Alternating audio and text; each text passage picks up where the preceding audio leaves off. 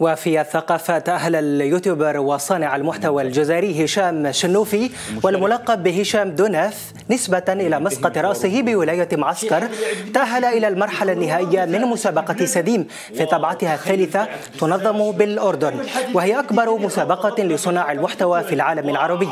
هشام ممثل الجزائر الوحيد ذو 22 سنة يدرس حاليا تخصص علم النفس المدرسي بجامعة معسكر تمكن من تخطي عدة مراحل صعبة من المسابقة من خلال فيديوهاته التي أبهرت في كل مرة أعضاء لجنة التحكيم.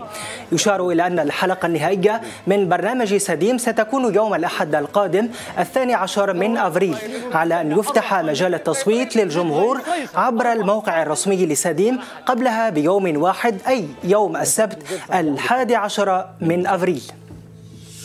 المشترك؟ طبعا الموضوع صعب بس للأسف لازم حد هيخرج.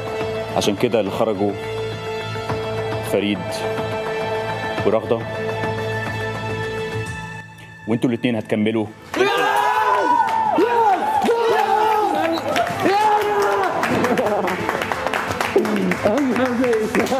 ألف مبروك.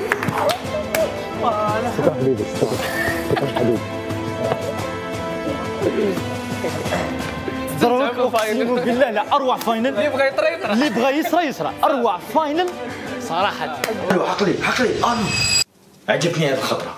عجبني بزاف. شي الحاجة اللي عجبتني سيكو الكورونا درتها على شكل بنادم. واو التخيل تاعك بزاف شباب. راك فرحان. راك فرحان كي قتلت بوك على خاطرش أنت عندك المناعة. بصح بوك مسكين ما عندهاش العالم كاع فقد السيطرة على هذا الفيروس. بسببكم أنتوما. ما فيها والو ولا قعدت في الدار 15 يوم ما فيها والو.